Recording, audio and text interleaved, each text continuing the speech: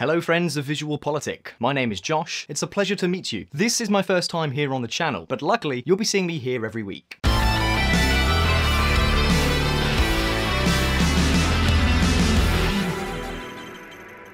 Mankind's landing on the moon, the Great Wall of China, Notre Dame Cathedral, all these human achievements are nothing compared to the virus of the COVID-19 vaccine. Humanity has never faced such a challenge. And I know what some of you are thinking, come on Josh, aren't you exaggerating just a little? Vaccines for other nasty diseases already existed before the SARS coronavirus 2 pandemic. What's more, the first vaccine in history was invented way back in 1798. Well, yes, you're right. Vaccines are nothing new. What is new is time trial work. For example, it took 15 years to develop the human papilloma vaccine, a total of 20 years for the polio vaccine, and there's still no vaccine for SARS or AIDS.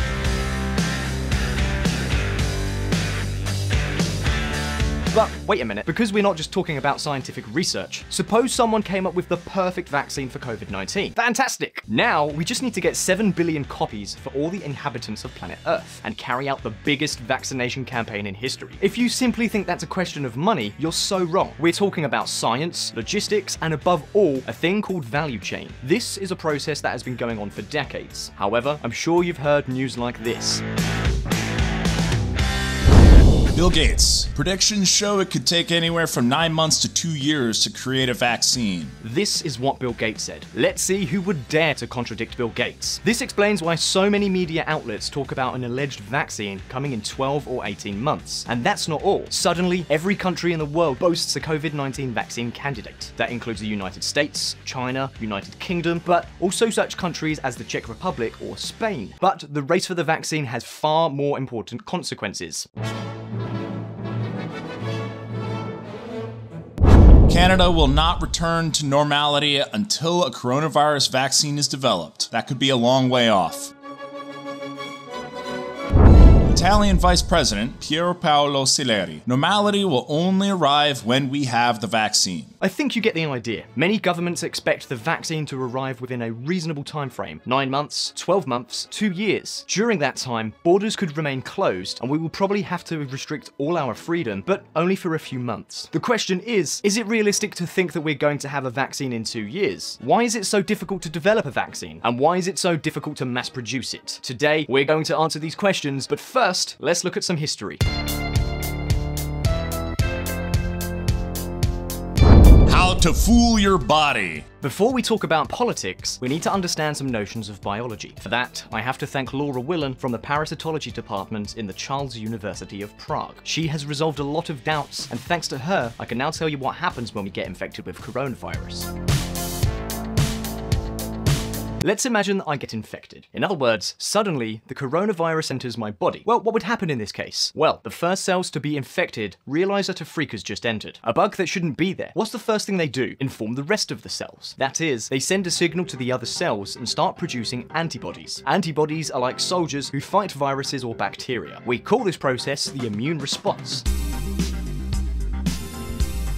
But as you can imagine, my body needs to create special antibodies to fight the coronavirus. And since they've never faced this type of virus, they don't know what kind of antibodies they have to create. In other words, my body is going to spend literally days testing different types of antibodies until I find the right one. Once found, my body has to generate enough of these antibodies to destroy the virus. The problem? Well, in the meantime, the coronavirus has already infected millions of cells, and it's generated millions of copies. That is, the virus army is more numerous than that of the antibodies bodies. Conclusion, a lot of people lose the war. Now think, what if we could generate all the antibodies without having the coronavirus? Well, that's what makes a vaccine. The job of the vaccine is to deceive our organism. That is, we make it believe it's having a coronavirus attack. We generate the antibodies, but we don't have that army of bugs that can kill us. This is called immunological memory. So our body learns how to deal with the virus, and the day a real invasion arrives, your body knows what kind of antibodies it has to create. This is the basic principle of a vaccine, and this is why, thanks to vaccines, diseases such as polio and smallpox are close to being eradicated. So once again, the day that we all have the COVID-19 vaccine is the day that we can say we're done with the pandemic.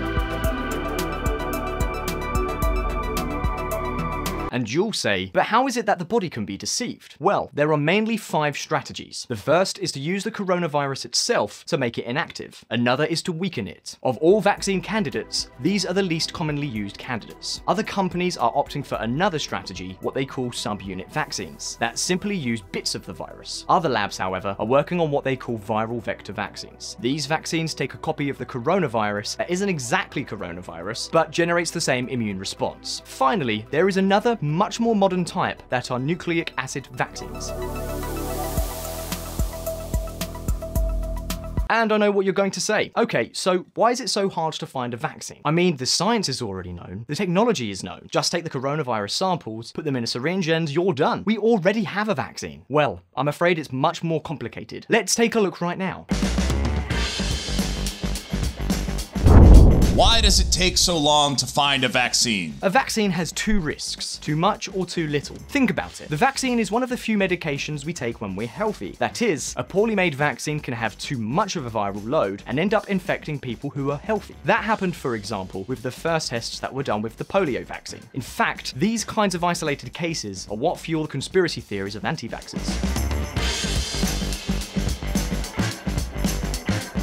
The other risk is to fall short. That is, that the vaccine does not generate the immune response that we're looking for. For example, this has happened with some AIDS vaccine attempts. That's why the process of finding a vaccine is so tremendously long and expensive. Research and clinical testing alone can cost more than 200 million euros. And then you have to make the vaccine en masse, and you're going to see that it's not as simple as making cars. So, how is a vaccine made? Well, the first step is pure and rigorous research. We must find the antigen, which is that principal component that deceives our body and triggers the specific immune response against the virus. Normally, this antigen is combined with another substance called adjuvant, which is like a kind of catalyst. That is, it is a general activator for the immune system. We're talking about an investigation that lasts several years. Basically, you need to produce the virus to have samples, then isolate it, and test all possible options. This entire process can take up to two, three, or four years years. And what's the next step? Trials. As you can imagine, before trying it on people, it is tested on animals. That explains news stories like this.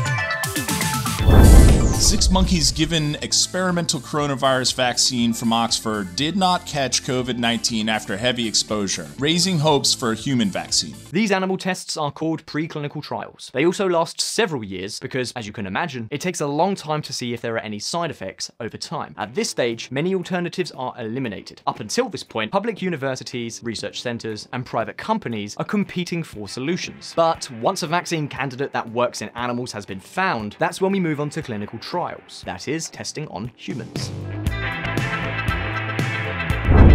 Coronavirus. First patients injected in UK vaccine trial. Human testing is the most complicated part of the process. In fact, tests are usually done in several phases. Typically, in cases such as these, they are outsourced to specialized companies. These companies are called CROs. Remember that these tests need all of the security checks you can imagine. In some cases, groups of up to a thousand patients are required. Some are given the vaccine and others are given a placebo. The effects of each group are then studied, and the results are presented to governments. For example, in the United States, the regulatory body is the Food and Drug Administration, or FDA. By the time the vaccine is presented, two years of laboratory tests have already been conducted, another two of animal tests, and between five and 10 years of clinical trials. Finally, with a little luck, the governments approve the vaccine. We move on to the next step, mass production. And I know what many of you will be thinking, production can't be that hard. Once we have a master formula, we go to the chemical plant, we mix all of the products, and we produce vaccines on a factory line like cars, right? Well, it's nothing like that, I'm afraid. Actually, rather than a vaccine factory, we should talk about vaccine farms. Because it's not about mixing products, it's about developing a virus so you can put it in syringes. For example, many of these vaccine farms use things like hen eggs or tobacco leaves to grow the virus.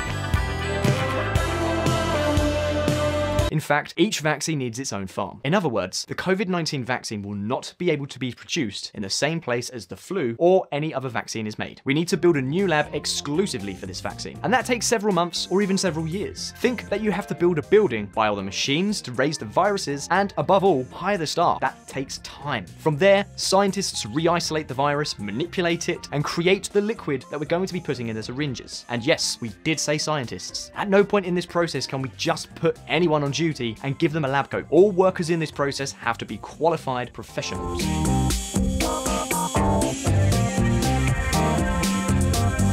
But not only that, we're talking about developing viruses. That is, it is not a matter of creating a more or less efficient factory. In order to have vaccines, we have no choice but to wait for the viruses to develop and reproduce. And this is a process that can take days or months. In other words, imagine repeating this process 7 billion times to get 7 billion vaccines. But wait, because we're not done. Every time a shipment of vaccines is produced, we need a new quality control. In reality, every part of the manufacturing process has quality controls. Therefore, governments in each country have to send an inspector to check that the vaccines coming out of that farm are in perfect condition. Conclusion. Every time that you have a vaccination, you can breathe easy. Few things in this world go through so many checks. So, it's a long and tedious process. But now governments governments around the world are saying that they can have it in less than two years. Is this even possible? How are they going to make that happen? Well, we'll have a look at that right now. A vaccine in 18 months? In this pandemic, we have a unique superpower for the first time in our history globalization. That's right. Look at it this way. The basis of finding a vaccine for COVID-19 is trial and error. The more people who have tested different vaccines, the faster we'll find one. Luckily, we've never had as much talent in the world as we do right now. There are more than 100 vaccine projects, and many come from countries like China or Singapore. Countries that 30 years ago had no large universities or pharmaceutical laboratories, and that can now compete in this race. Remember I was telling you there are several strategies of finding a vaccine? Well, every company and every university is opting for a different strategy. As you can see in this graph, there are protein-based vaccine projects, others are based on viral vectors, etc. The more companies we have, the faster we'll find different winning formulas. Well, I say different formulas because we probably won't have one, but several different COVID-19 vaccines. And you'll say, but where does all that money come from? Who finances all of this? Some of that funding comes from investors and private companies, but also from different nations. Look at this.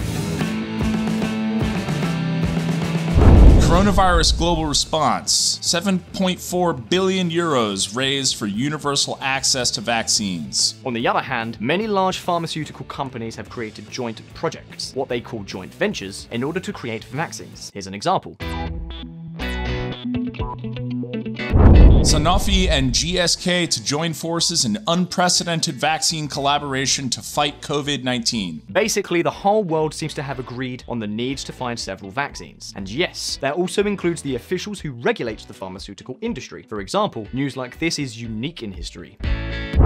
Pfizer begins human trials of possible coronavirus vaccine. Think about it carefully. So far, we've said that it takes years before a vaccine starts being tested on humans. However, in this case, we are talking about a few months. That is, COVID-19 was not known until the end of 2019. Right now, it's May 2020, and there are already several labs that are doing clinical testing. And I know what many of you may be thinking, but how is this possible? I mean, how is it possible for governments to speed up such a controlled process so much? One of two things must be happening. Either the regulations were useless, or perhaps regulators are turning a blind eye. For this, there is one group who can reassure all of us lawyers. Should a vaccine generate too severe side effects, armies of lawyers are ready to report to manufacturers. In this case, medical malpractice would come at a price, and it's a price that could bankrupt a lot of pharmaceutical companies. In other words, they all have enough incentive to get things right. But not only that, speed of production is also important. One of the slowest tasks is the mass production of a vaccine, right? Well, in this respect, Bill Gates has a lot to say. Gates Foundation commits $50 million to COVID 19 vaccine initiative. Total funding now tops $300 million. So, what's all this money for exactly? Well, no, it's not for research, it's for production. In other words, these vaccine farms are already being built. And you'll say, how is it possible if there is no approved vaccine yet? Well, they're preparing the production lines for some of the candidates. This way, if they get the approval of some administration, they can start mass producing the next day. And yes, you heard correctly, a huge chunk of this money is going to end up in failed projects. I mean, we're talking about billions of dollars that could be lost. All of this for a single purpose, to extend the chances of having a vaccine quickly. And the question is, is this enough? Is all this money and all these scientists working to guarantee that we'll have a vaccine in two years? Well, the answer is no. We're talking about a probability game. Is it possible to have a vaccine in two years? Anything is possible. Is it likely? Well, on that point, we can have a lively debate. Is it safe? Absolutely not. So, are we finished? The truth is that even if we do not find a vaccine, it is possible that medicines will be discovered in order to cure COVID 19 once we have become infected. But that's the subject of another video, because we still have a lot to talk about when it comes to the pharmaceutical industry and coronavirus. For example, which country would be the first to receive the vaccine? That's what we're going to talk about soon. So if you don't want to miss any upcoming videos, subscribe to VisualPolitik and make sure that you don't miss any of our updates. So now the question is over to you. Do you think that it makes sense for governments to keep restrictions in place until the vaccine appears? Or maybe we'll have to learn how to live with the virus? You can leave me your answer in the comments. Once again, I would like to thank Laura Willen. I also have to thank Ignacio Lopez Goñi, who is Professor of Microbiology at the University of Navarra. Ignacio has been reviewing this script to make sure that all of the scientific information we have given you is correct. I must also thank the people at Pfizer, Sanofi, GSK, and the University of Oxford, who have advised me during the preparation of this video. So I really hope you enjoyed this video. Please hit like if you did, and don't forget to subscribe for brand new videos. Don't forget to check out our friends at the Reconsider Media podcast. They provided the vocals in this episode that were not mine. Also, this channel is possible because of Patreon and our patrons on that platform. Please consider joining them and supporting our mission of providing independent political coverage. Again, I've been Josh. Thanks for watching my first video here at VisualPolitik, and I'll see you next time. And if you want to learn more about politics and hear even more of my lovely voice, you can join us at Reconsider Media. We have a podcast at reconsidermedia.com slash podcast. See you there.